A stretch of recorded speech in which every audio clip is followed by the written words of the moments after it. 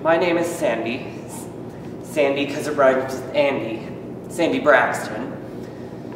And, um, Well, my name. but you should call her Edie. We stand for some kind of radical evangelicalism of pop art meets a neo-existential attempt to live in this postmodern world. But basically, we just follow Andy.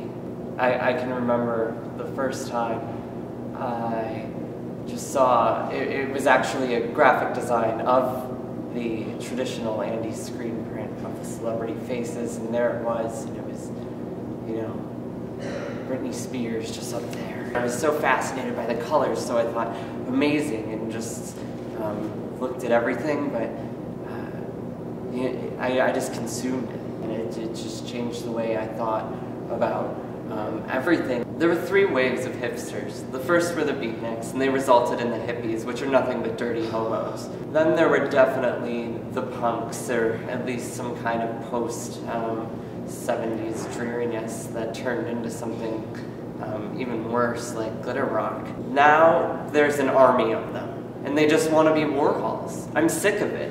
Andy Warhol did say, I'm a superficial person, but not to go so far as to just be him.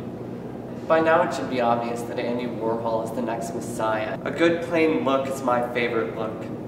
If I didn't want to look so bad, I would just want to look plain. That would be my next choice.